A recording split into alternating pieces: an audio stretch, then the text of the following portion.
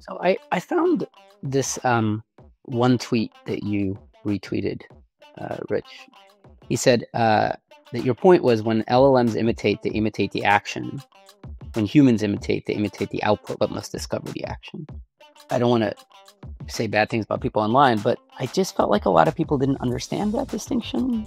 And I get why. It's very subtle. And I think the key here is the word discover the action.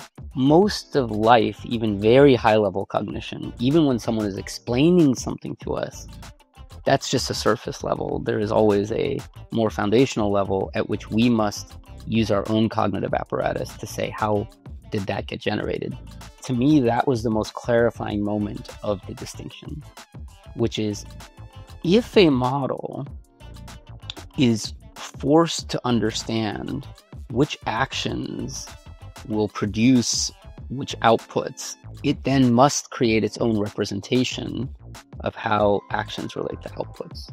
That to me is at the heart of, at least, and tell me if I got this right, Rich, but that to me is at the heart of one reason we might imagine these things don't have good world models because they are not forced to ask which actions in some space will create the kind of outputs we see, whether they are language or proofs, but you can also see domains in which they've surely developed good world models, like chess or Go, domains where actually the algorithms have in fact had to create go from action space to outputs, go from things to outputs. And that space is a big and growing space. It's just not the same space as language models trained on corpuses of text.